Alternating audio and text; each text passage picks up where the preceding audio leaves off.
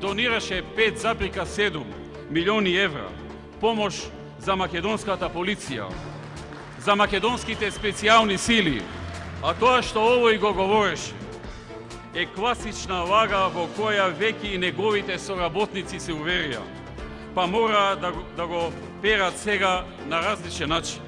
Ова контрадикција не се однесува само на тактичката опрема, туку и на она увереност на уверените, во која очигледно не бил уверен ниту оној што го пишувал говорот, па до таа мера го оперува горе кажаното, кога веројатно подзагубен во редовите. Тоа кукавичко јајце се решил да го подметне во гнездо на машки кокошки.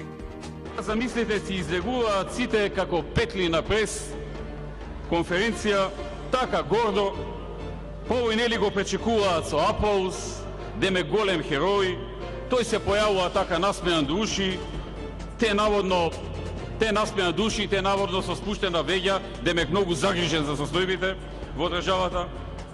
И на крајот, на изглед перфектната актерска изведба.